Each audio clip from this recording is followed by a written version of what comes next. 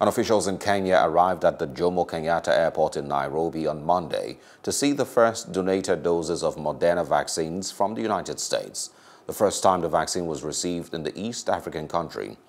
Principal Secretary of Kenya's Ministry of Health, Susanna Mochache, said that 880,460 doses were delivered.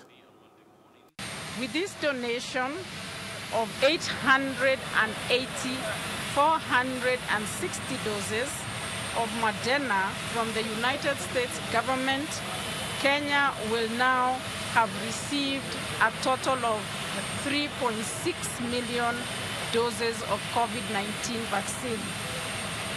Moderna is the second vaccine to be deployed in this country after we started administering AstraZeneca in March this year. The U.S. government will continue to work with the government of Kenya to bring additional life-saving vaccines to Kenya through COVAX, and we'll continue to do all that we can to build a world that is safer and more secure against the threat of infectious disease. Hello, hope you enjoyed the news. Please do subscribe to our YouTube channel and don't forget to hit the notification button so you get notified about fresh news updates.